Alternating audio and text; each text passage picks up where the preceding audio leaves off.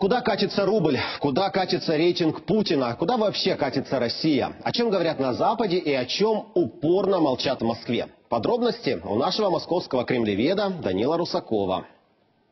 О том, что рейтинг Путина начал ползти вниз, уже пишут даже про кремлевские информагентства. На сайте одного из них опубликовали опрос, проведенный, кстати, Левада-центром. Прямо в заголовке материала есть ссылка на экспертов. Они говорят о нарастающей в обществе апатии. Впрочем, только лишь этим отважные по нынешним временам публичные предположения не ограничиваются. По подсчетам тех, кто проводил опрос, снижение рейтинга пока не такое значительное, но оно первое с момента начала кризиса на востоке Украины. Если в августе за собирателей земель русских были готовы проголосовать 57% респондентов, то теперь уже только 49%.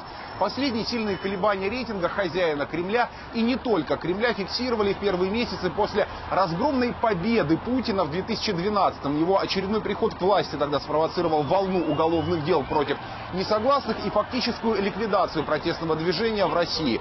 Впрочем, по словам социологов, нынешнее падение скорее является признаком усталости и безысходности. Антиправительственных настроений в обществе они не фиксируют.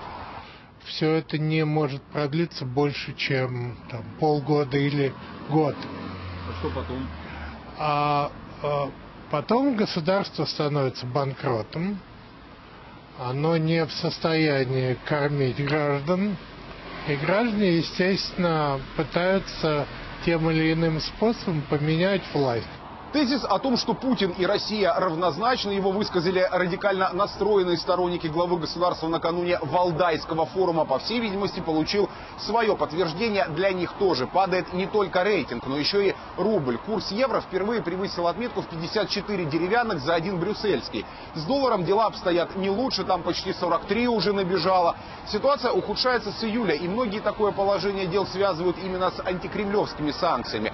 Кстати, их отменять не собираются. Надеюсь, Надежды близких к власти экономистов, что осенью уже все закончится, как видно, не оправдались, а в их стратегических планах вообще много чего интересного было. И про встающую с колен державу тоже. А на Западе вовсю говорят о болезни Путина, мол, рак у него. И эти слухи докатились и до Москвы, поэтому для многих теперь становится актуальным вопрос, на который телевизор много раз утвердительно, положительно отвечал. В какой же на самом деле позе пребывает отчизна?